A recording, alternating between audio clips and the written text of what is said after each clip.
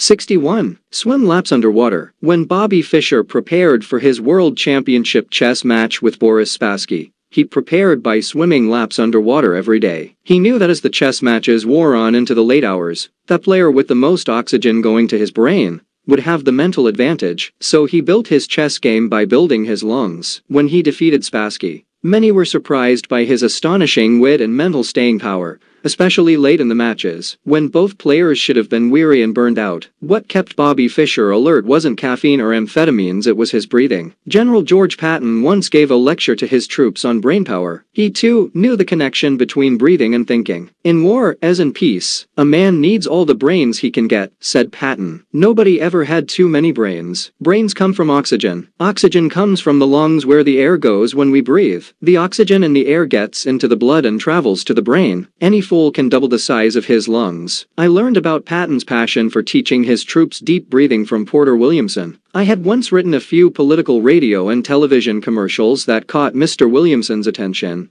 So he called me and asked me to lunch one day. Because he had identified himself as the author of Patton's Principles, I eagerly accepted his invitation having coincidentally read the marvelous book a few weeks earlier. Williamson had served in the army for many years as Patton's most trusted legal advisor. Williamson told me many stories about serving with Patton and how truly extraordinary a motivator the general was. Most of the Patton quotes in this book come from Williamson's own memories of his service with the great general. Williamson told me about how he himself had lost his leg to bone cancer and how the doctors had erroneously forecasted his death twice. His inner strength, he said, often came from the inspiration he received in his days of serving with Patton. Frequently, General Patton would stop at my desk, recalled Williamson, and ask, how long you been sitting at that desk? Get up and get out of here. Your brain stops working after you sit in a swivel chair for 20 minutes. Keep the body moving around so the juices will run to the right places. It'll be good for the brain. If you sit in that chair too long all of your brain power will be in your shoes. You cannot keep your mind active when your body is inactive. That one principle an active mind cannot exist in an inactive body became Bobby Fischer's secret weapon in winning the world championship of chess. Who would have guessed that swimming underwater would make you a better